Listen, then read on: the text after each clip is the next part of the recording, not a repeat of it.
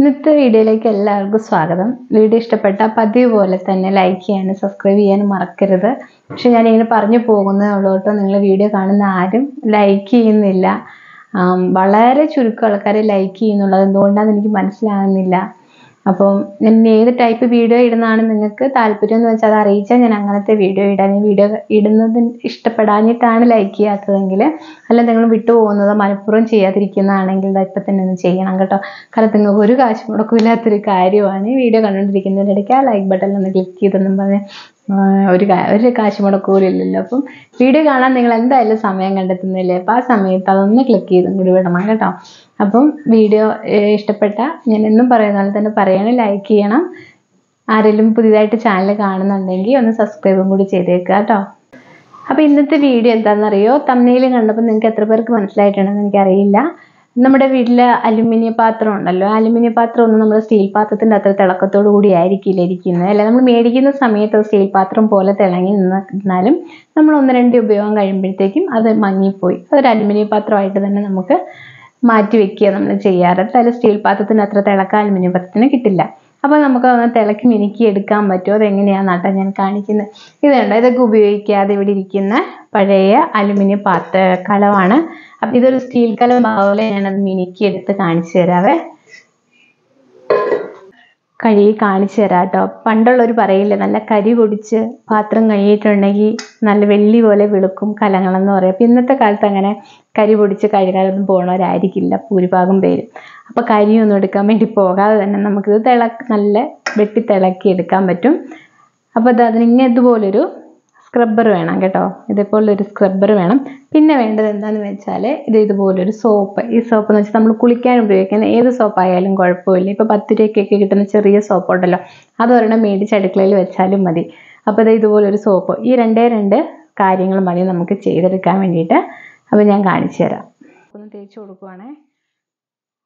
ഇതുപോലെ തന്നെ നമുക്ക് നിലവിളക്കും കഴുകിയെടുക്കാൻ പറ്റും അത് ഞാൻ വേറൊരു വീഡിയോയിൽ കാണിച്ചു തരാം.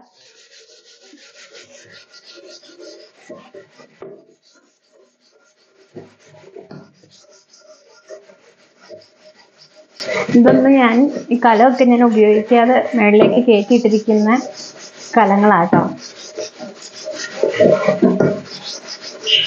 ഇനി കരിയുള്ളതാണെങ്കിൽ നമുക്കിത് ഇതുപോലെ തന്നെ ഒന്ന് ചെയ്താൽ മതി.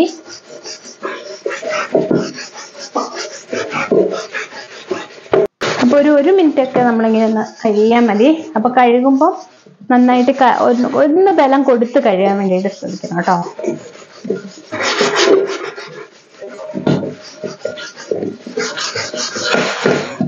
അതെ നമ്മൾ ഒരു മിനിറ്റ് കഴുകി എടുപ്പിച്ച് കഴുകിയിട്ടുള്ളൂ. ഇനി അതൊന്ന് കഴുകി കാണിക്കാം.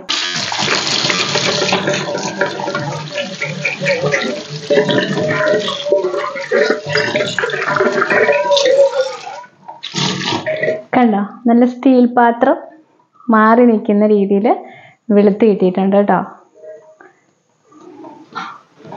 ഇത് കണ്ടോ സ്റ്റീൽ കലമാണോ അലുമിനിയം കലമാണോ നമ്മൾ ഒറ്റ നോട്ടത്തിൽ നമുക്കൊന്ന് മാറിപ്പോവും. നന്നായിട്ട് വെളുത്ത് നമുക്ക് നമ്മളെ തന്നെ ഇതിനകത്ത് കാണാൻ പറ്റുന്നുണ്ട്. കണ്ടോ?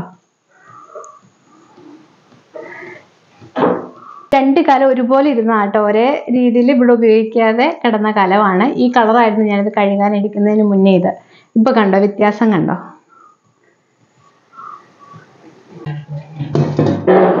അപ്പൊ ഇത് നമുക്ക് മാറ്റി വെക്കാം കേട്ടോ. ഇനി ഞാൻ ഒന്നുകൂടി കാണിച്ചു തരാം. ഇത് കണ്ടോ? കരിയൊക്കെ പിടിച്ചിരിക്കുന്ന ഒരു കലം. ഇവിടെ മഞ്ഞൾ പുഴുങ്ങാൻ വേണ്ടിയിട്ടൊക്കെ ഉപയോഗിക്കുന്നതാണ്. അപ്പോൾ ഈ കലം കൂടി ഞാനൊന്ന് വെളുപ്പിച്ച് കാണിച്ചു തരാം കേട്ടോ. ഇനി കരിയൊക്കെ പിടിച്ച് ഇരിക്കുന്ന കലം വെളുക്കുമോ എന്ന് നിങ്ങൾക്ക് ഒരു സംശയം തോന്നാതിരിക്കാൻ വേണ്ടിയിട്ട് ഇതും കൂടി ഞാനൊന്ന് ചെയ്ത് കാണിച്ചു തരാം. അപ്പം ഈ കരിക്കലം കൂടി ഞാനൊന്ന് കഴുകി കാണിച്ചു തരാം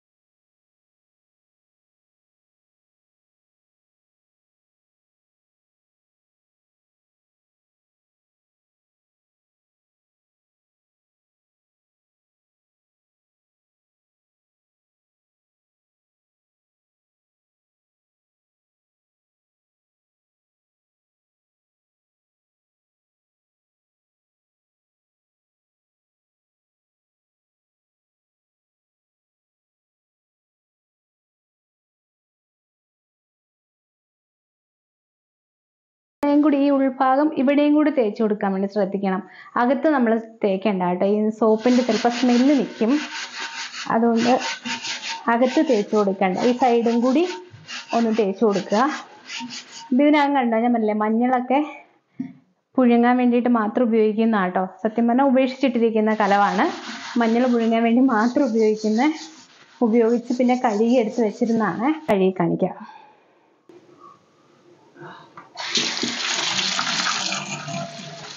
കഴുകി ഞാൻ കാണിച്ചു തരാം.